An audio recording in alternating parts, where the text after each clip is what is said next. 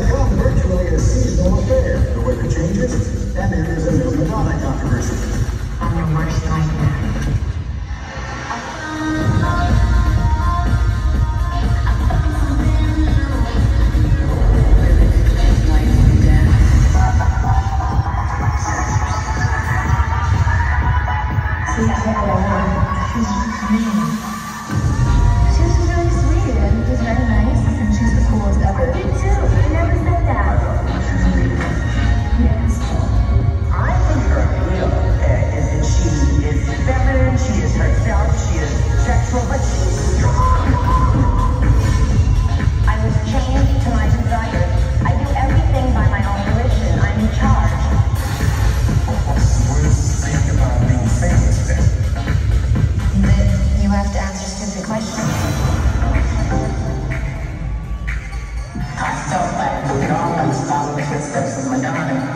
And powerhouse that own empire.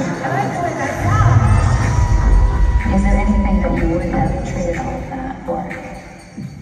Yes.